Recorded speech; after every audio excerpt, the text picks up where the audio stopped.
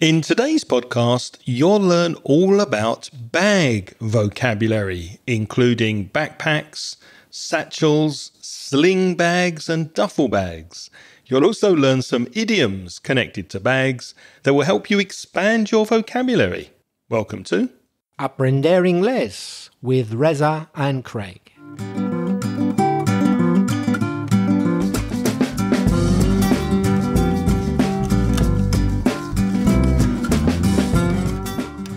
Hello and welcome to the podcast, especially if you're a new listener. And if you've been listening for a while and come back, thank you very much. With more than 50 years of teaching between us, Reza and I are going to help you improve your English and take it to the next level. How are you doing, mate? I'm doing really well.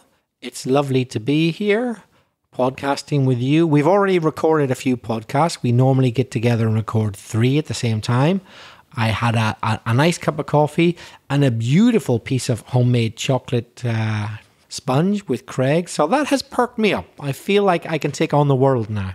I'm pleased to hear it, and I must confess that today's topic is a fetish of mine. I don't know if you remember a while ago we did a podcast about stationery, pens, notebooks, papers, those kind of things that I really love going into stationery shops.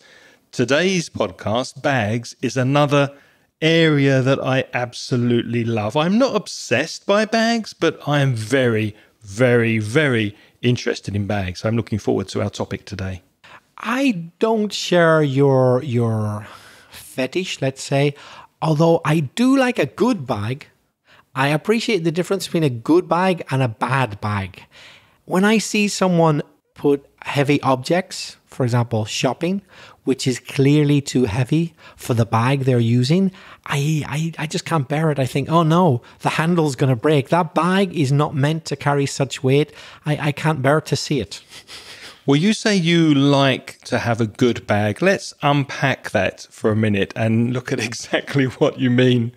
Did you get the Yeah. Yeah. Unpack the bag. unpack the bag, but unpack the idea of having a good bag. Backpack is our first word on the list. A backpack is a bag, typically with two shoulder straps, and you wear it on your back. That's why it's called a backpack.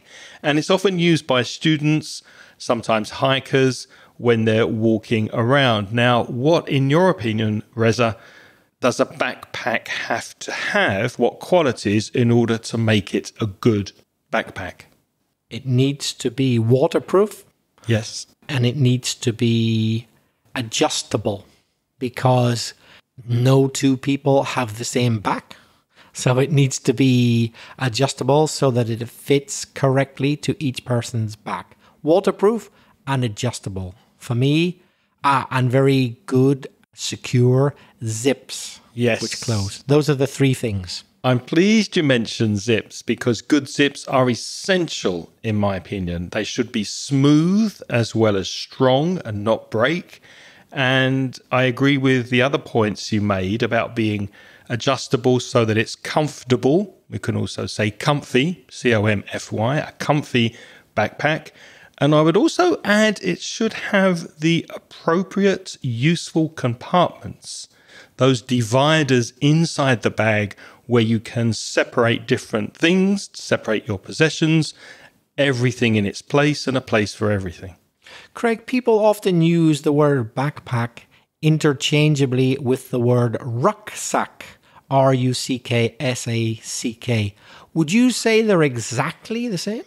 Not exactly, they can be used interchangeably, and a rucksack is similar to a backpack, but very often it's bigger, it's larger, and we can say it's more rugged.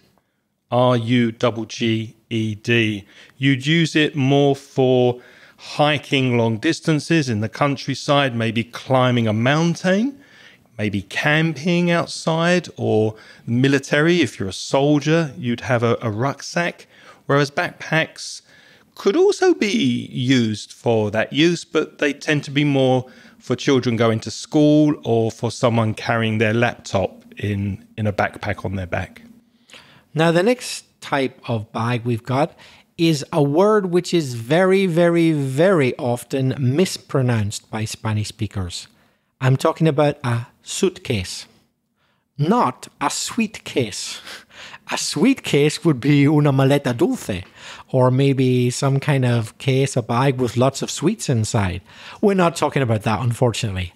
A suitcase, S U I T, suitcase, is a large bag used for travel and these days often has wheels. Una maleta in Spanish, just so we know what we're talking about. And those wheels should be strong, strong wheels, in my opinion, especially if you're flying. You need to have wheels that don't break when the luggage handlers, the people who work at the airport, and they change the bags from the airplane to the bus or tractor that takes it to the terminal they need to be strong because they really do throw those suitcases around, don't they? The wheels break easily. In fact, you've given me an idea, Craig, a challenge for listeners. If any of you have ever seen or heard of a sensitive, delicate baggage handler, let me know. I don't believe you. I've never seen one before in my life.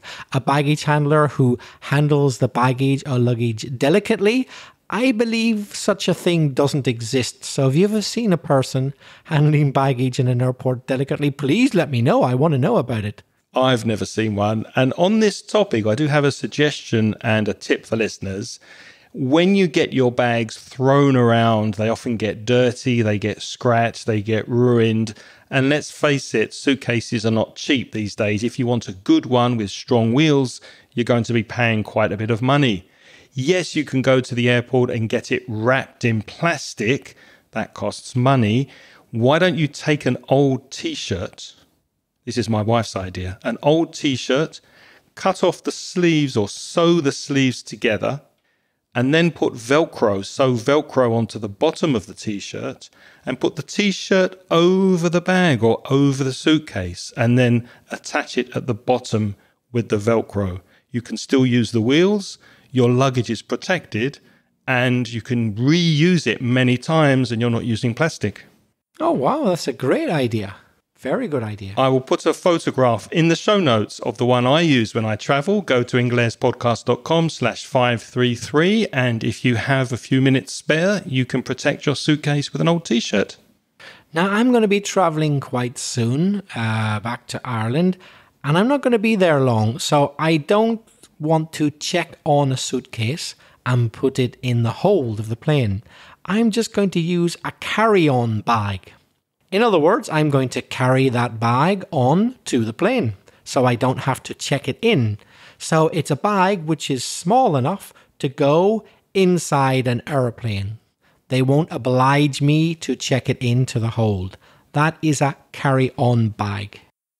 Our next bag on the list is a messenger bag. And you can see a picture of a messenger bag if you put messenger, M E S S E N G R, and then bag in Google search, click on images, and you'll know exactly what I'm going to describe. By the way, this is a very useful method of clarifying vocabulary. If you're not sure what a word means, Probably there's a Google image which will show you in a second exactly what it is. It's a bag with a very long strap that you can wear across the body.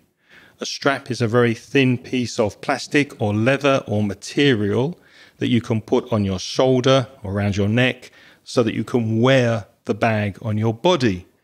And these messenger bags are commonly used by cyclists, when they're delivering messages, for example, or food, or maybe motorcyclists, or just for casual use when you're walking around a city. The next type of bag is a duffel bag. That's D U F F E L, duffel bag. It's a large, usually cylindrical bag with a top closure. So it only opens at the top and closes at the top and it's used above all for travel and for sports. So, quite often, a duffel bag might be used as we could use another word, a kit bag. Something where you keep your kit, K I T, your things for sport. Very often, a duffel bag is used as a kit bag. I've never really seen the point of duffel bags because, in order to find something that's at the bottom, you have to take everything out. No compartments inside, nowhere to store things. Just put everything together and then tip everything out just to find one small thing. I totally agree. I've never had one and don't want to have one. I can't see the use. But if you ever steal millions of dollars, that's when a duffel bag would come in useful.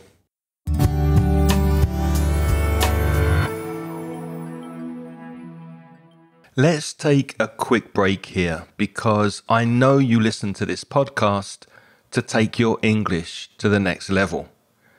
But what about your speaking? Is your fluency improving? Are you happy with your speaking skills? My conversation course focuses on making you a more confident and more fluent English speaker. You'll join me and a small group of motivated students, and we'll meet on Zoom and have topical discussions, role plays, debates, and presentations that will expand your vocabulary and help you express yourself effectively in English. So be proactive and take the first step towards becoming a confident and fluent English speaker. Send me an email today to craig at inglespodcast.com and I'll send you details of the next online conversation course. Thanks for listening. Now, let's get back to the podcast.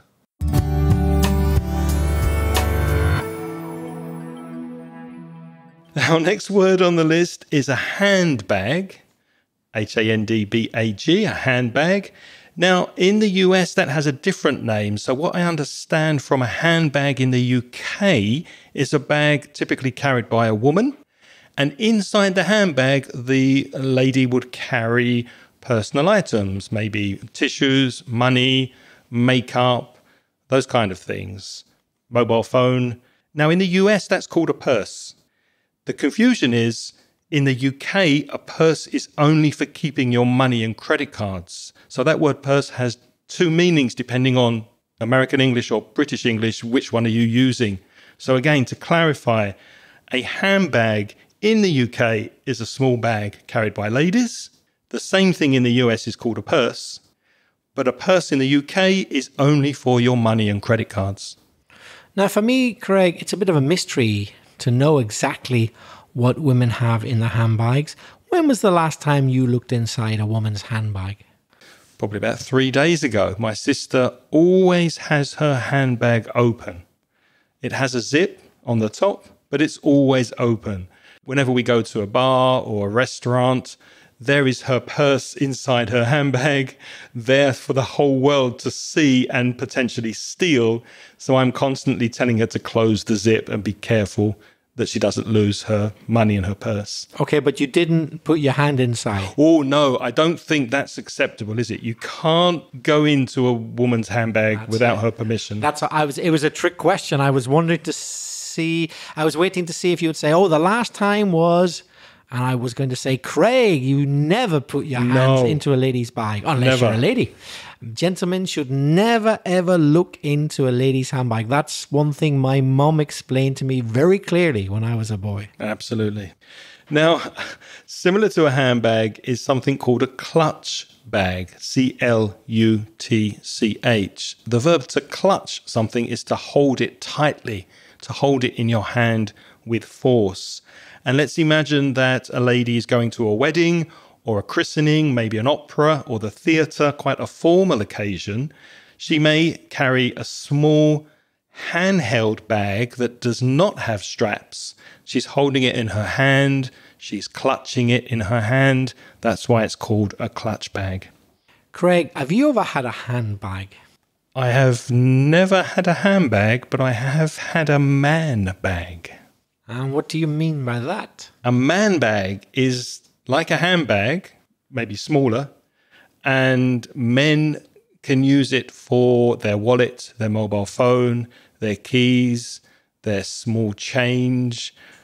And let's face it, guys, these days we're carrying a lot of stuff around with us. Our pockets are not big enough for the phone, which is big now, it's heavy, and the wallet and everything, credit cards. So, yeah, a man bag solves that problem. Do you use man bags?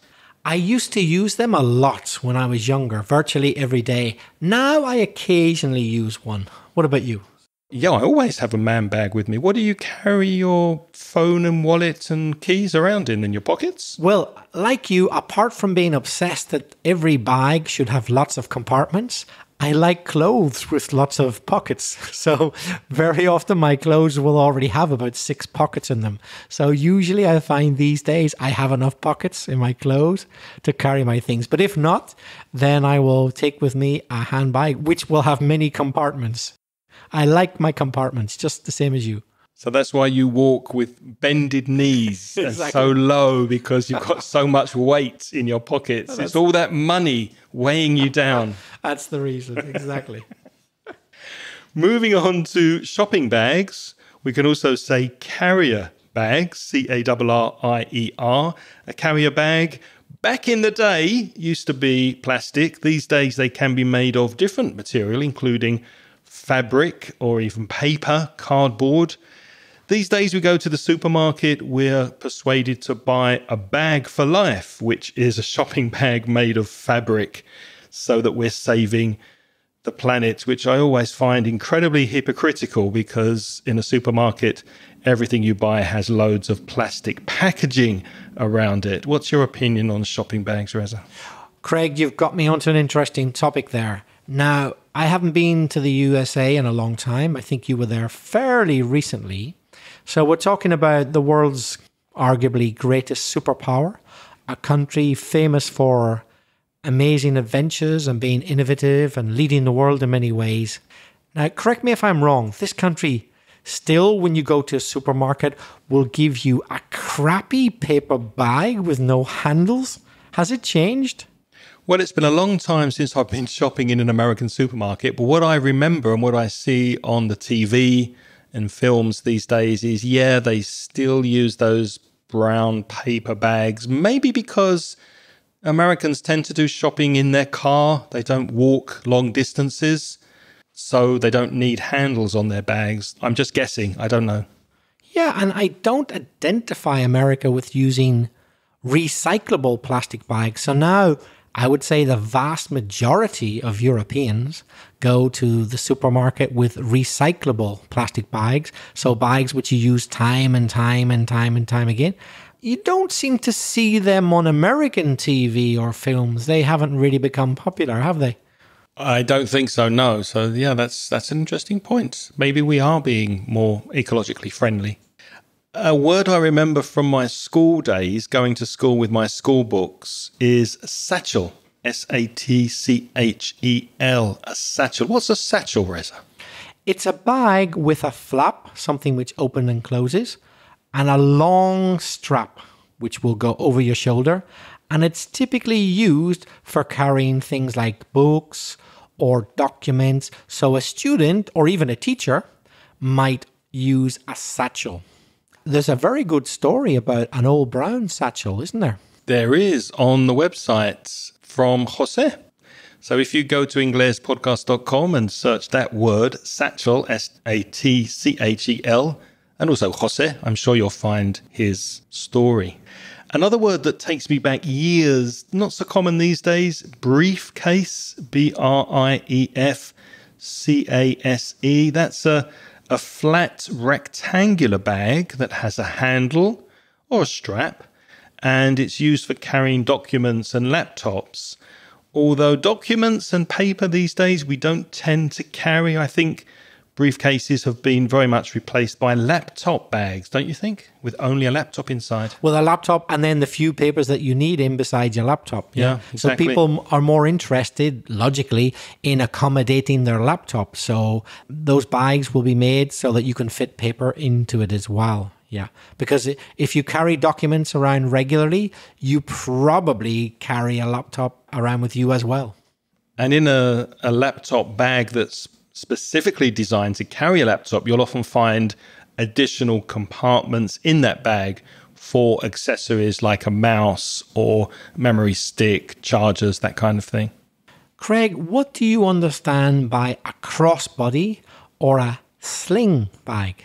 That's kind of like a backpack, but it only has one strap on it.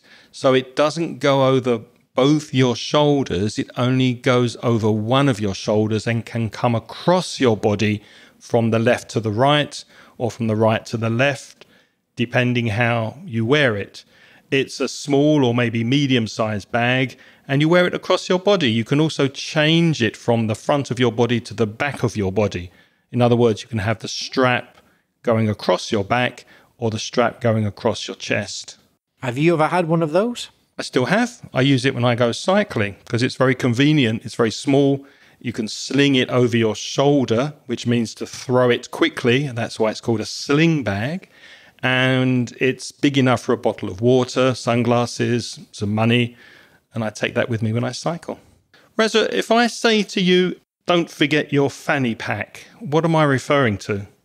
I guess there you're using American English. I would say something different in British English. A fanny pack is a very small bag worn around the waist. So it goes around the middle of your body. It, there's no strap over your shoulder. It's simply one long strap which goes either around the back or around the front, depending on how you wear it, around the waist. But in British English, we would probably call it a bum bag because the idea originally was that the, the compartment where you put things hangs round about where your bum is. Your bum is your bottom. So originally it was designed for that purpose, but now a lot of people prefer to have the the, the space where the where they're carrying things at the front rather than at the back at the bum. I guess that's so that you can keep an eye on it better. So it's harder for someone to rob you if the you've got it at the front, right? Exactly. I'm a big, big fan of, of bum bags when I go traveling because your money, your passport, your important documents are right there around your waist. And I usually have that on me when I'm traveling from when I get up in the morning until I go to bed at night. So a bum bag is small and it carries the essentials. Just one word about the fanny pack and bum bag. Bum, of course, UK English slang for the back of your body in the middle. And the American equivalent is fanny. However, in British slang, and be careful, please, how you use this word, fanny is a vulgar term in British English for vagina. So it means the opposite. In English slang or British slang, the fanny is at the front of the body. And in American English, fanny will be your bum at the back of your body. Yeah, that, that's why I would never say fanny pack. I can't bring myself to say it. I prefer to say bum bag. Yeah, it's uh, definitely a bit of a shocking word for Brits, that word.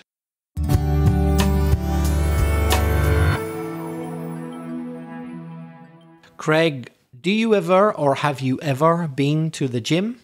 I used to go quite regularly. Unfortunately, I've fallen out of the habit. So I haven't used my gym bag for quite a long time. What about you? I'm going this very afternoon, believe it or not. Good it's, for you. It's a new me. The, the, the listeners are probably shocked. Uh, You're working on the new Reza. Yeah. I've I've taken a fancy. That means I become very fond of going to my my gym, but above all to do things in the water, aqua therapy and aqua gym. So to do that, I definitely need a gym bag because I'll need to bring my swimming trunks, my flip flops, etc. So I've uh, got a lot of use out of my gym bag recently. I'm happy to say. Are you going to organize classes in Aqua Gym or do you do something by yourself? No, no, they're organized classes. Yeah. I don't know if it's a good thing or bad thing to say that I'm usually the youngest person there. Is that good or bad?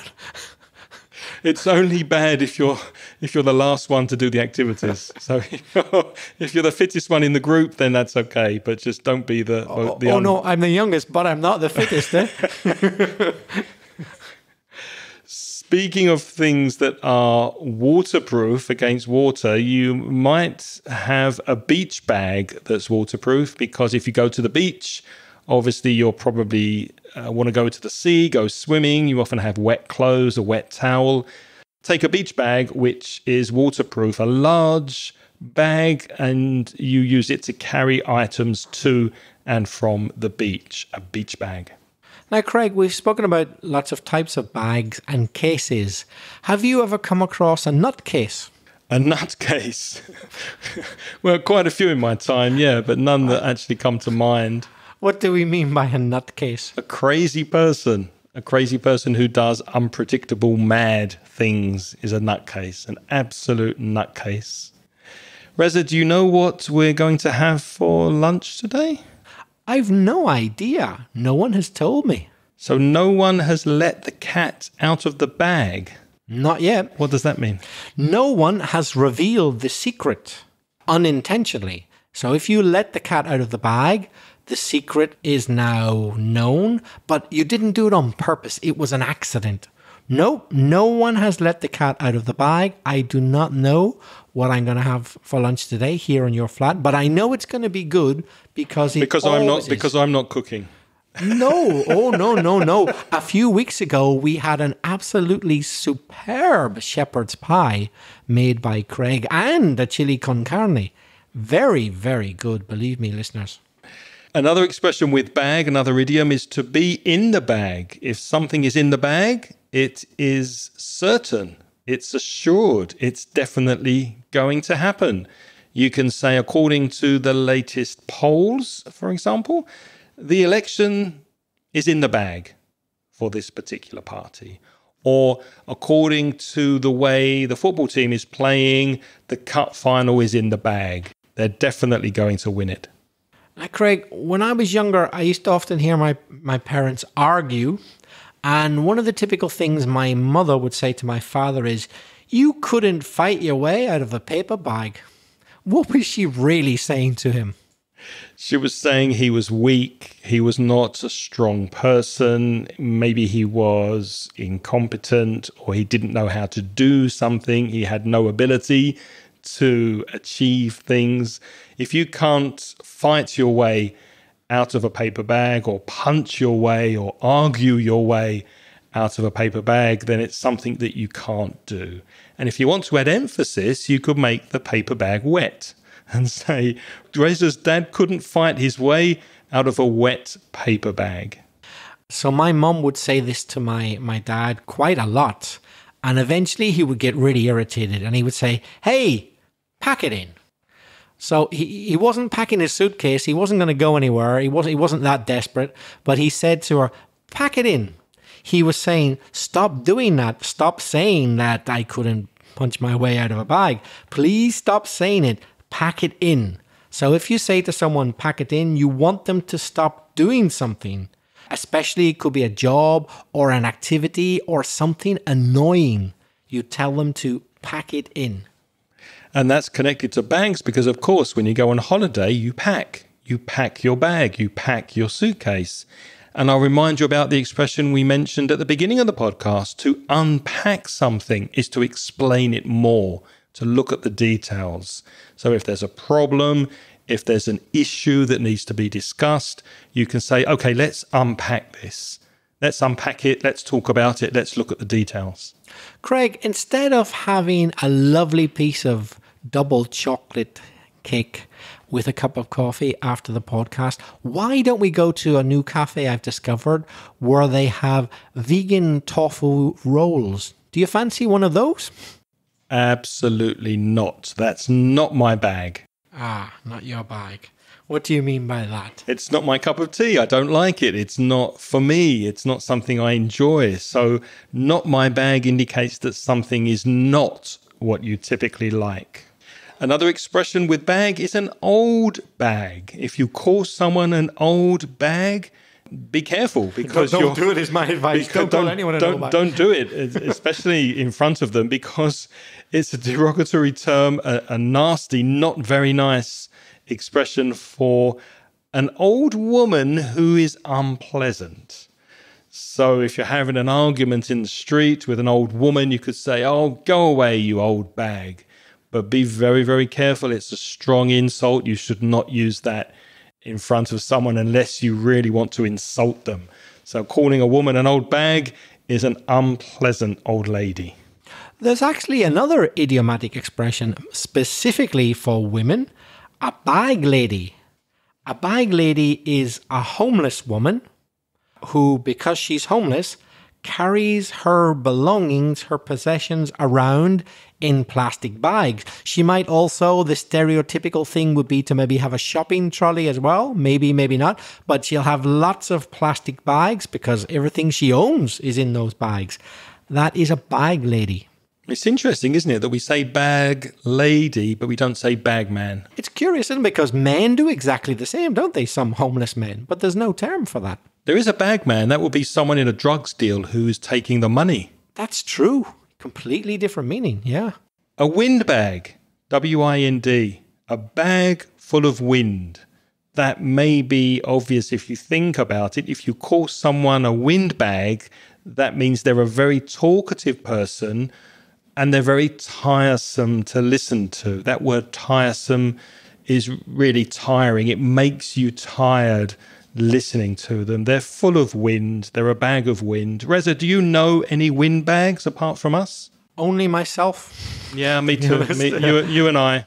Well, Craig, it could be worse. Maybe we are windbags. Maybe we talk without stopping all the time. Speak but, for yourself. Well, yes, I, I do too much. But at least I hope to think we're not sleaze bags. Sleaze, S L E A Z E, sleaze bag. What is a sleaze bag? That's a very unpleasant, lecherous man. A man who, when you look at him, he looks very dirty, very maybe sexually threatening, not very nice. Yeah, it's definitely a negative term. And another word with bag that I just thought of is douchebag, which is very popular in American English. D O U C H E bag, douchebag. Literally, a douchebag is a kind of a bag, a small bag or a syringe that, that ladies use to clean the vagina. But if you call someone a douchebag, that's calling them horrible, contemptible, despicable, maybe an asshole or a jerk. So it's a very strong word. Be careful how you use it. But another word with bag is douchebag. Speaking of toilet activities and bags, douchebags, you've just made me think of another which I hadn't thought of before. I'm f- sorry for the for the the vulgar language. A shit bag. Mm. Would you ever call a person a shit bag? Oh yeah. Yeah, yeah, if, if a person is a shit bag, so shit, uh, excrement uh, in a rude way, if a person is a shit bag, they're just not very nice. They're in some way they're horrible. They're a shit bag. Yeah, they're a bag of shit or a shit bag. It, doesn't sound nice, but it's a very common term. We use it a lot. Well, I couldn't think of a nicer way to end the episode. Than so, a shit bag. would you say, Reza, that this episode is in the bag? It's in the bag. Yeah. But now it's your turn to practice your English. We would love to hear from you. So why not send us a voice message and tell us where you are and what your name is, obviously, and any ideas that you might have for a future episode. You could reach us via SpeakPipe. That's S P E A K P I P E dot com slash Ingles podcast. There's a link to that in the show notes to this episode. 533 inglespodcast.com slash 533 to go to today's show notes. Reza, how can people reach us by email? If you prefer to write, you can get Craig if you write to craig at inglespodcast.com or me at belfastreza at gmail.com. And if you're a Spanish speaker studying English and you're interested in some paid material to aid and help your studies, why not have a look at the Mansion Ingles store? Go to store, S-T-O-R-E, dot mansioningles.net. As always, we'd like to say thank you to all of our Patreon supporters what they do is they donate as little as $1.50 per month. And as a way of saying thank you to them, they get instant access to audio transcriptions of the podcast. If you're interested, uh, have a look at the link in the show notes to patreon.com slash podcast and maybe consider uh, sponsoring the, the podcast through a modest donation. We'd like to say thank you to every single one, but we haven't got time. So, regular listeners know that what we do is just mention our most recent new sponsors. Who are they, Craig? They are Jessica Negrier, Ronaldo Nino, and Walter Zange. Thank you to you and to everybody who is kindly supporting the podcast. Now, we don't know the topic for next week's episode. That's why we're asking for your feedback on SpeakPipe. But we do promise there will be a podcast next week. Until then, thank you for listening today. Have a lovely week. And remember, if you enjoyed this episode, learning about bags, please tell a friend so that more people can listen. Until next time, it's goodbye from me. And it's goodbye from me. The music in this podcast is by Pitts. The track is called See You Later.